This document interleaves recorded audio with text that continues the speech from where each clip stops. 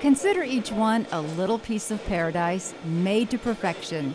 The lipstick color is paradise, and this Dallas manufacturing facility can turn out 70,000 in a day.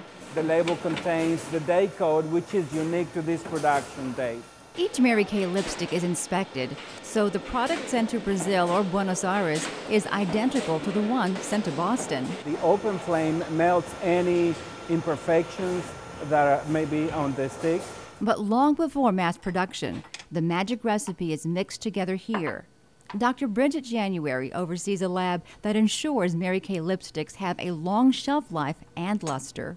I think women love the fact that they're long wearing, um, that they're high moisturizing, and that they have that little bit of bling that, that all women want when they put on that lipstick. You look in the mirror and it makes you feel good about yourself, and that's what this company is about. The same facility manufactures lip gloss and hundreds of other popular beauty products. But lipsticks will always be important for Mary Kay. The formula is a secret, but it's a mix of science and sex appeal that women want every time. It all comes down to the ingredients that are in the lipstick. Is that, that's the key. For MKTV, I'm Rebecca Rodriguez.